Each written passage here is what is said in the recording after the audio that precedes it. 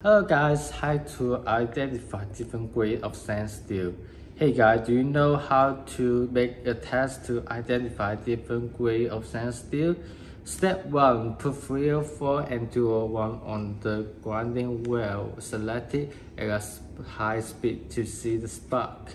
Due to the effect of high friction temperature and the number, shape, and amplification of sparks, we can identify its chemical compositions and general content to know the grade.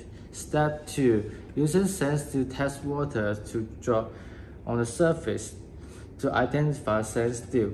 Different grades shows color are not the same. Step 3 is using photon detection and computer analysis. It is most accurate and valuable way. After these three ways, do you know other ways to identify different grades of steel? Please let me know. Give us like and comment below this video. If you are interested, I'm Jimmy. Thank you guys.